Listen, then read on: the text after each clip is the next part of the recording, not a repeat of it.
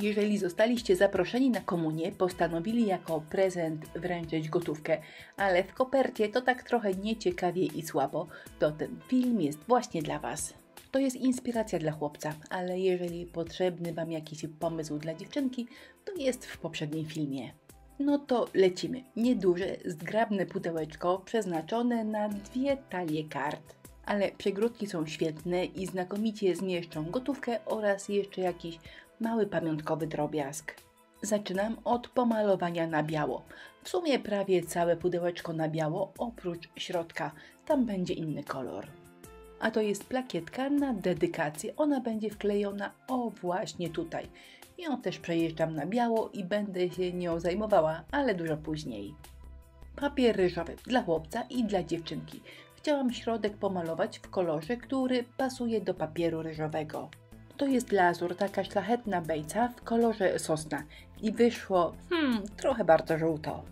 Spojrzę prawdzie w oczy, oj dużo za żółto, oj za bardzo za żółto. Niech ten żółty sobie schnie, a ja z pięknego papieru ryżowego najpierw wycięłam obrazek chłopca, a teraz go obrysowuję pędzelskiem z wodą i obrywam niepotrzebne części papieru.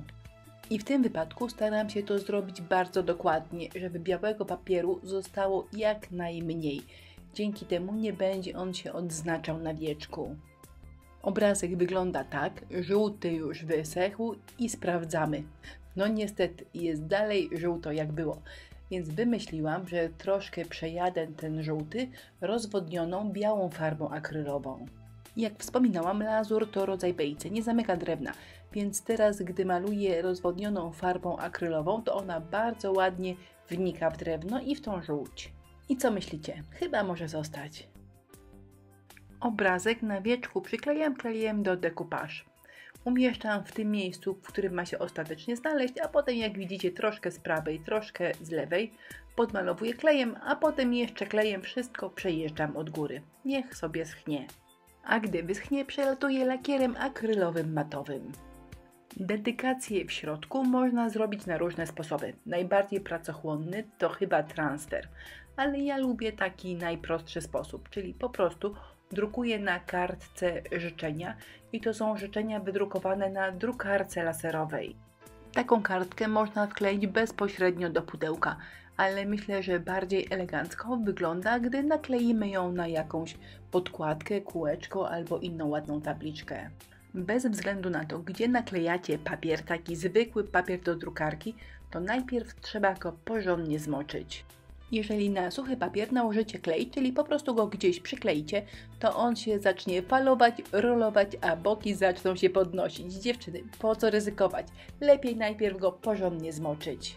Nakładam klej na tabliczkę, na papier, a potem wkładam głowę w kamerę. Przepraszam, ale tam nic ciekawego nie było. Po prostu trzeba ten papier przykleić do tabliczki w miarę równo. Rekomenduję, żeby kleju zarówno na tabliczkę, jak i na papier nakładać dużo. Za dużo. Dzięki temu jeszcze przez chwilę kartka będzie jeździła po tabliczce i można ją wtedy idealnie ustawić. Ustawiamy, nakładamy klej i zostawiamy do suszenia. Po wyschnięciu wygląda to tak sobie, ale nie szkodzi, bo nadmiar papieru obcinamy, ewentualnie obszlifowujemy boki i obmalowujemy na biało, żeby to wszystko ładnie i estetycznie wyglądało. Co jeszcze przed nami? Elegancka wstążeczka, narożniki, które przemaluję na niebiesko oraz napis Komunia Święta. Wstążeczka jest niebieska, ale nie pasuje idealnie do niebieskiego, który występuje na ubraniu chłopczyka więc niebieski, który namieszałam, jest taki pomiędzy, żeby tak troszkę pasował zarówno do ciuchów chłopczyka, jak i do kokardki, którą za chwilę dowiążę. Napis Komunia Święta albo Pierwsza Komunia Święta możecie wybrać jaki chcecie. Ja wybrałam taki ze sklejki, ale występuje u nas w sklepie Inspirello także z birmaty, czyli taki tekturowy. Narożniki oraz napis przyklejam klejem na gorąco. Natomiast wstążeczkę i kokardkę skleję w ten sposób, żeby można ją było zsunąć z pudełka, żeby nie trzeba jej było rozcinać, żeby zobaczyć co jest w środku. Zanim obwiążę kokardką pudełeczko, pokażę Wam jeszcze jak wygląda w środku. No to wstążeczka, paseczek sklejam razem, a na górę doklejam kokardkę. Gotowe. Moja inspiracja dla Was, pudełeczka na pierwszą komunię dla chłopczyka, prezentuje się tak. Za chwilę pokażę Wam, jak wyszło mi pudełko na komunię dla dziewczynki. Jeżeli potrzebujecie właśnie dla dziewczynki, to link do niego zostawiam pod filmem. Pod filmem znajdziecie także linki do wszystkich produktów, których użyłam w tym filmie. Zapraszam. Jeżeli szukacie pięknych, nietuzinkowych inspiracji, jeżeli szukacie ludzi prawdziwie wkręconych w deku, to zapraszam Was na naszą grupę na Facebooku. Nazywa się Inspirello i Przyjaciele. Do zobaczenia.